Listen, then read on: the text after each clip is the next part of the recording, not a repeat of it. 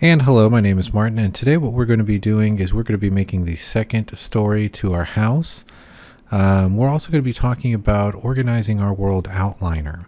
Now, uh, up until this point, we've just been sort of adding things to the screen, and uh, for the most part, you know, there's not a lot of stuff up there, so it's it's pretty easy to track, and if you click on something, you can find it rather quickly. Um, but there are a couple of organizational tools that we can use, uh, folders and groups that we're going to talk about real quick uh, that might make uh, moving things, copying things, um, and taking advantage of being able to do that in this software uh, and make that uh, make that a little bit easier to actually do. Okay, so the uh, the first thing that we're going to do is really what I want to do is I sort of want to group uh, like things together, like this house. Uh, the subtractive plus the inside box plus the outside box. So I'm going to click on the first one, and uh, I can look at this and I can actually rename this if I want. Uh, there, if, if you right click on it and you go to edit, I believe the rename function is right there. And uh, there's also the F2, which would be the shortcut to be able to do that. So let's go ahead and name this um, house. Uh, let's do house underscore first story uh, outside. Maybe let's do a house outside. Um, you're going to find that people like using abbreviations. Sometimes they'll run words together like box, uh, box brush and leave no spaces. Um, just depends on how many of these objects you're going to have and how complex you want to get with the name if it needs to be repetitive for whatever reason. Um, so we're going to say house outside one. I'm going to click on the one on the inside.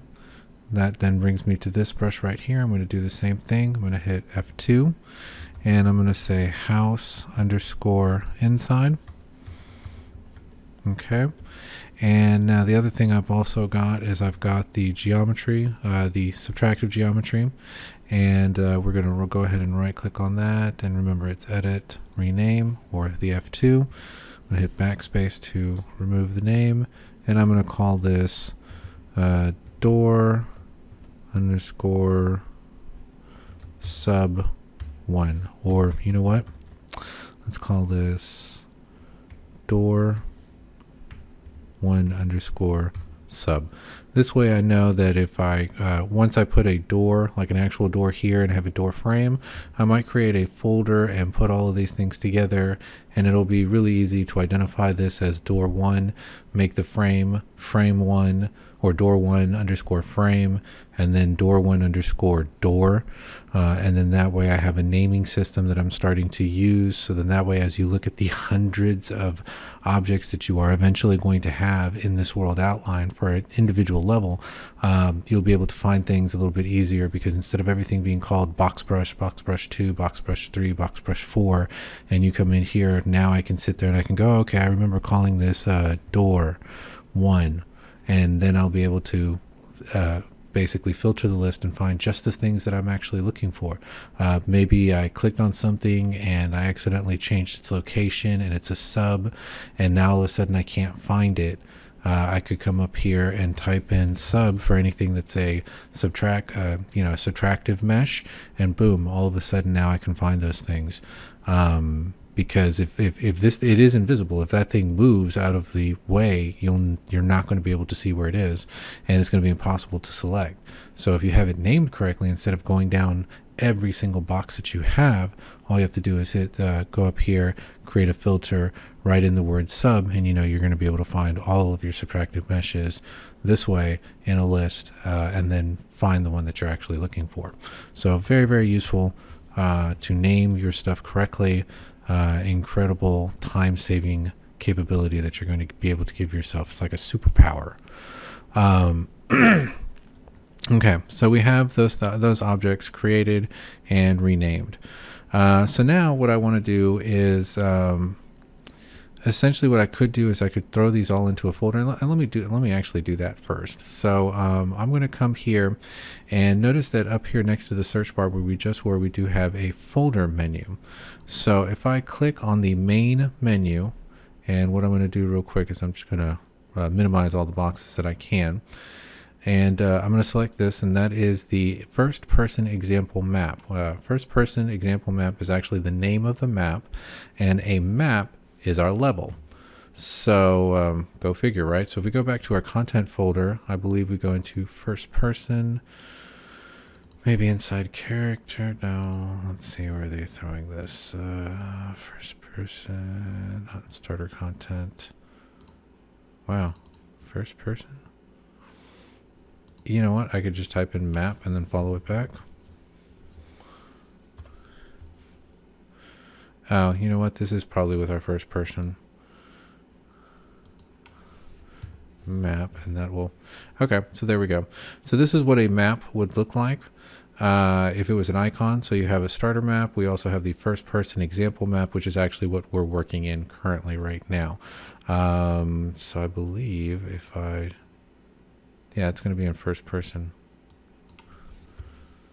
so first person BP there it is maps and there's the map itself that's what we were just looking at so content first person BP and map is how we would get to that map. Um, so that's what we're seeing. That's the same thing that we're seeing up here at the top. Inside that map, you're going to have all the folders that is going to hold the content that is going to be inside this level. Um, and from here, once we've minimized everything, we can come down here to the bottom space. And if we, well, really what it is, is if we have this thing selected and we hit new, because this is the top folder, it should leave one folder even with everything else. And that's essentially what I'm trying to do. So we'll click that. We'll see that it has created that folder. You can see that it's not subjugated or not put in, you know, it's not a folder inside of a folder. It's a folder at the root directory of, um, of this map. And let's go ahead and call this house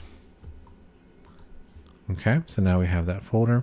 Now, the thing right now is that that folder is empty. And the reason why I know that folder is empty is because the eyeball is actually closed. So I can, you know, so I, if there is nothing in the folder, that's what it's going to look like. Uh, the second we click and drag and move something into that folder, that eyeball will be lit if the object itself was visible. Um, so let's go ahead and do that. Let's go and find our door.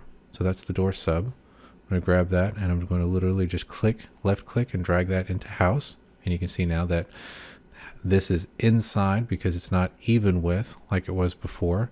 It actually has a bit of an indentation. And if I go into house, now I have this little arrow, which allows me to expand and collapse collapse the, uh, the folder itself and in there I can now see what's uh, what's available so house inside so what we just did was we clicked on one thing and dragged it in there I can hold shift and select multiple objects grab those and drop them into house so now if I do that to house and make all of house invisible, that's what we see when, uh, uh, well, that's what we don't see when house is not visible, right? Okay, so what that's done now is it's made it very convenient for us to make a second level uh, or a second story to this house because all we have to do now is select house, right click, edit, duplicate. And now we have a secondary version of that house. We have the folder, okay? we have the folder, but all the objects didn't get, get copied in. So what we want to do now is grab those objects, right click, edit, duplicate. What you really want to do here is grab the first item and just go ahead and click and drag um, because it, all the duplicate copies will be selected and they'll be there. Uh, now the cool thing about this is uh, you know everything got named two so second story that might work out. Um, and everything is still selected. So what I can do now is I could literally just grab everything drag it and bring it up. And now all of a sudden I have my second story. It's a little bit off. So let's go ahead and try to move this into the correct location. Okay that looks a little better now, the other thing that's also happening is this is moving in increments of 10 and it's snapping to the value of moves of, let me see, that's the scaling option. Yeah, so this is the first one here where it's actually making its moves. So let me actually drop this down to moves of one. Let me see we can't get this a little cleaner. Again, if you want to zoom in,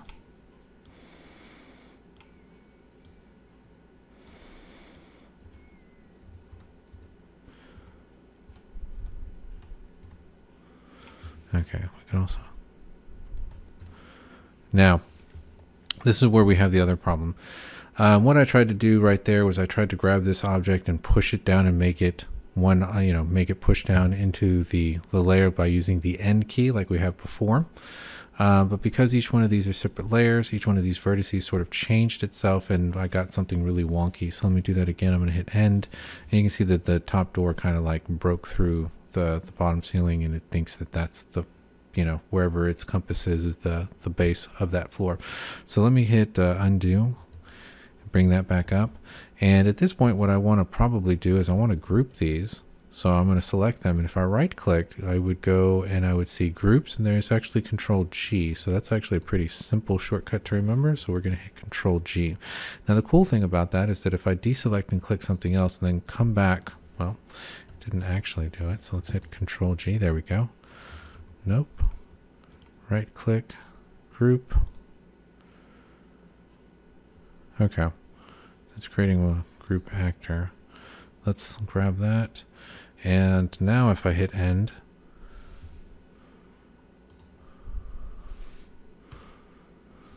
hmm.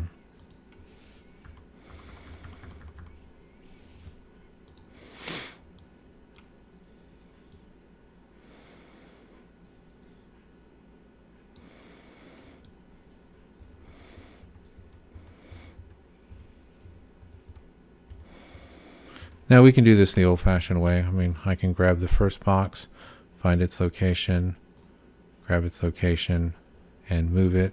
But having them grouped should have allowed us to be able to see that the, the problem with it being grouped is that all of the objects together make up this, um, they have multiple locations, so it's impossible to really sit there and uh, make them move the way that you want them to. Um, so we'll just go back to just getting them lined up this way.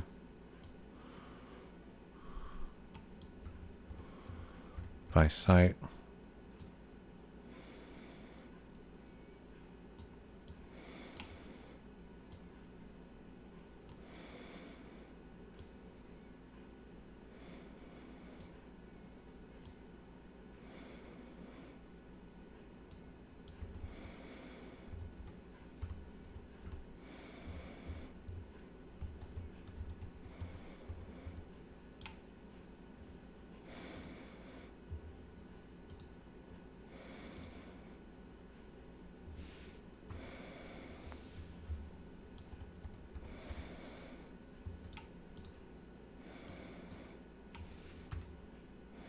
Okay, so that worked the way I wanted it to.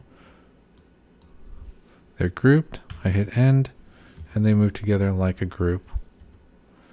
Looks like there's a little bit of dysfunction with that, but uh, we'll be able to fix that up in a minute. And actually, I, I really don't need that doorway, so let me just go ahead and delete that. Oops, I have everything grouped. Uh, yeah, so that's probably not going to be good. So let me right click on this. Let me do an ungroup. I'm going to select that doorway and I'm going to hit delete. That should delete my doorway. And now I'm going to select the inside, hold the outside, uh, there it is, inside, hold shift, grab them together. We're going to group them. And I keep getting some wonky stuff.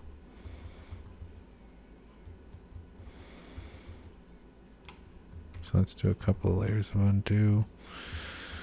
So shift, shift, Smooth this up so it's away from everything else. Let's control G to group it. Okay, let's hit end. So then that way it moves down to the bottom. And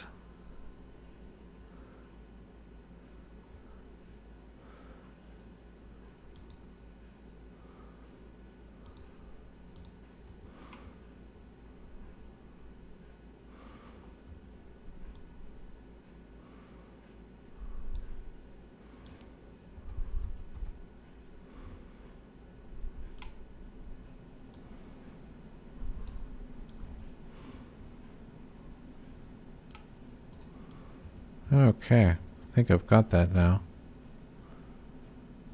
Okay, cool. So now we have our first floor and our second floor. And if I go into my first floor, uh, the second floor will see that. We go into the first floor, we'll see this.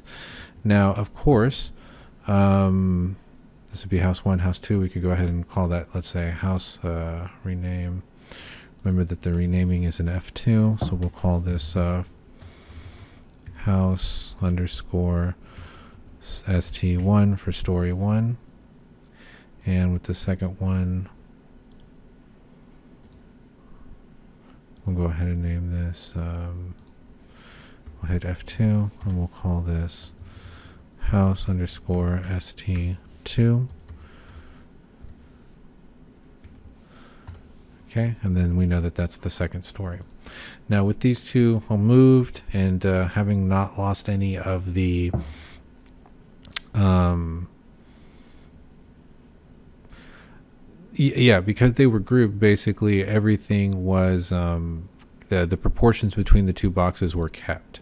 So you don't have to worry about the wall thicknesses having changed just a little bit or anything like that. They're both going to be consistent from the first floor to the second floor because the second one was moved as a group.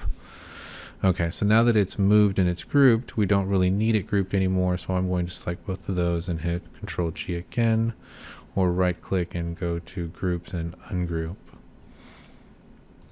So now I know that they're ungrouped because if I select one, I'm not selecting the other one. And the reason why I'm doing this is so that way I can, again, if I need to, cut that layer out so I can see what's going on. Uh, we get that cool interior view thing again. And there we go. So I hope you guys uh, got a lot out of this video and you have a wonderful day. Bye-bye.